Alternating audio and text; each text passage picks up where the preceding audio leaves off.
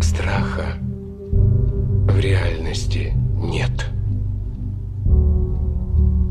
Страх живет в одном закоулке, в наших мыслях о будущем.